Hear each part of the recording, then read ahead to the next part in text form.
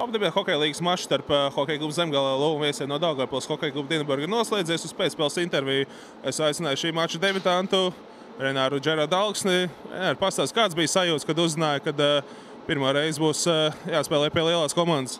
Sajūta, protams, bija lielisks. Negaidīju, kad man izauga uz augšu, bet es citīgi trenējos un tā sanāca. Tiku spēlēt. Arī debijas mačā piedzīvot zaudējumus. Kas bija tās lietas, kas tavuprāt neļāva komandai cīnīties par uzvaru šajā mačā? Um, komanda, es nezinu, varbūt nebijām līdz galam gatavi, ka tāds ir iznākums, bet komanda cīnījās un puiši strādāja. Es domāju, ka vienkārši nepaveicās.